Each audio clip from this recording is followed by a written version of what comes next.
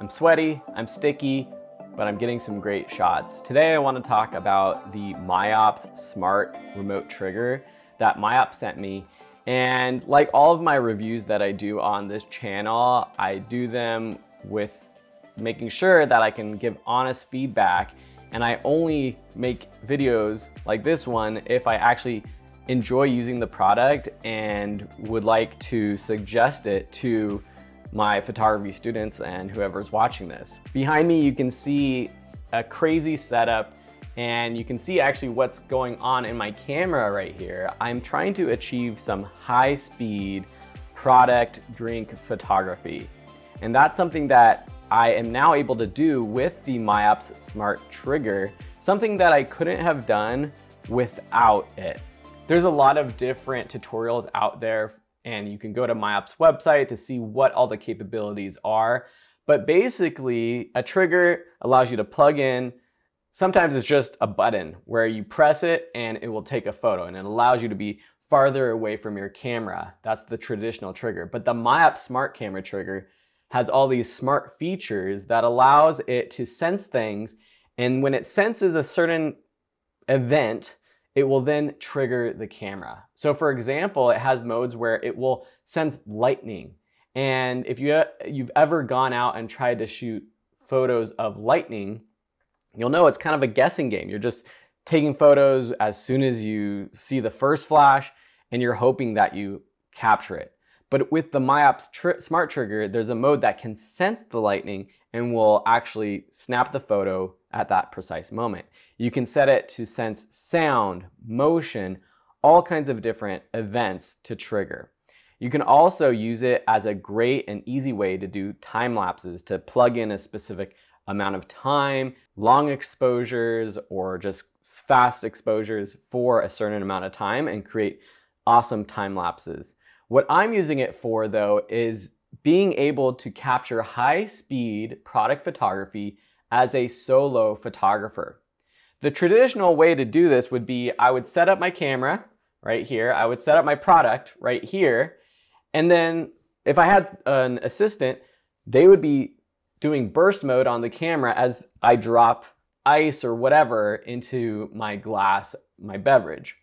And that's great if you have a second camera person, but I'm here by myself.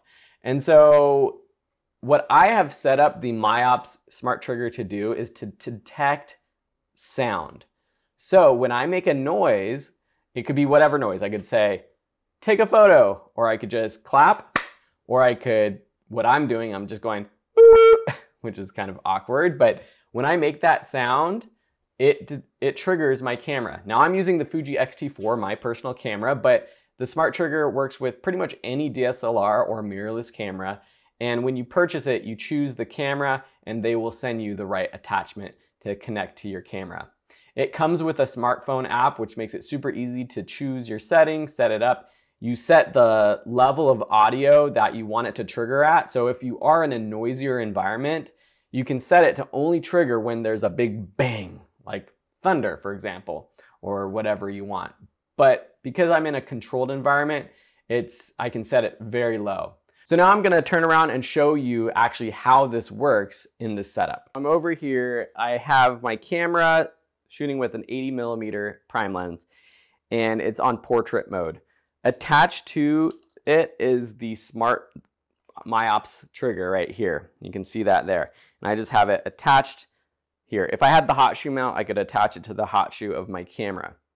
I've set my camera to a very fast shutter speed, 2000th of a second, uh, 4.0 aperture, and I've bumped up the ISO to 1250 just because I need a little extra light. I have two continuous lights on this, one in the background, which casts this great light coming through the beverage, which makes it kind of pop from the background. And then one in the front showing the details of our beverage and what we're dropping into our cup because I've done this with like different types of drinks with berries and different things. So once I am all set up with my backdrop, I just have a black sort of pop-up backdrop. I've used this piece of glass on top of a black paper to create this kind of reflection. Once I am happy with this setup, what I will do is I will come over here. I will make sure that my trigger is working and it looks like it's actually been taking photos this whole time. So on here, I have set it to trigger based off of sound. And when I'm ready to go, I can turn it on. And then basically what I've been doing is I've been getting a piece of ice or whatever. And you'll hear it. So let's be quiet. If I go, you'll see it on the screen that it's actually triggering. I'm getting a ton of photos now. Wasted space. But now I just have to time it right so I can go, and hopefully it captured that splash.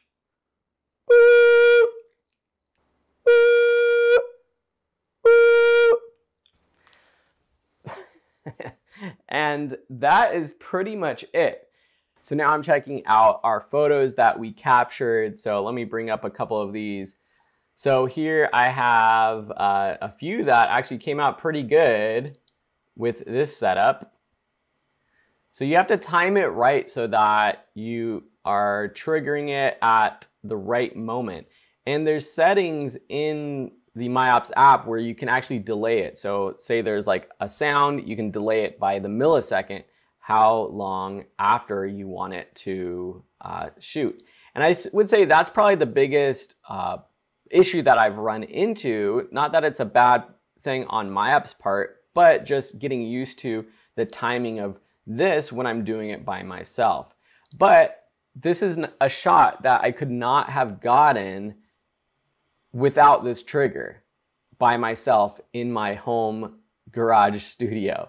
And so I really think it's a cool product. I mean, the first thing that I thought about using it for was I often have to take photos of myself for whether it's a YouTube thumbnail or a headshot for my profiles.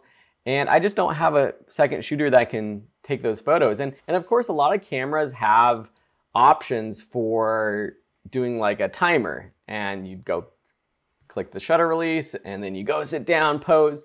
But by being able to actually set it based off like a sound, for example, I can just be sitting, posing, and I could just say, boop, or snap, and it will take a photo. And like I said, you could have it delayed. So I could be like, take a photo, smile, and then do that as many times as I want in that location without having to reach over, hit the trigger on the camera, or even with a lot of these cameras, they do come with apps that allow you to press a button, it connects to your camera remotely, but it just doesn't work as well and have as many options as this MIOPS smart trigger. So these are pretty cool. I did another setup. Let me go up to those other photos. Here we have another one. I did like some berry splash. This one's cool. Yeah, this one's super dope. I like that. And I'm gonna take these into the editing room edit them and I'll share some of the photos here at the end of the video. You can probably see them over on my Instagram too. But thanks MIOPS for sending this. Like I said before, I'm not paid to say this. They did send me the product for free. I would definitely suggest it for someone who's doing this kind of photography or if you're doing things like lightning photography or if you need something that will help you get time lapses, video lapses, astro photography, star lapses, and you don't know how to do it on your own camera or it's not your camera doesn't have an intervalometer that's able to do that easily, using the MIOPS Smart Filter is one way to do that. So thanks so much for watching. I hope you enjoyed this little video review and I'll see you in another one. Bye.